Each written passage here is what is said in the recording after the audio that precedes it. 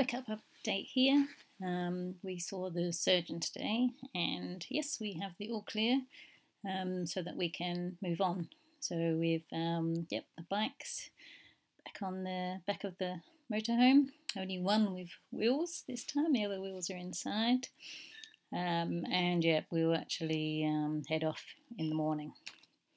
Uh, the x-ray, Ron's x-ray post-operation is shown below.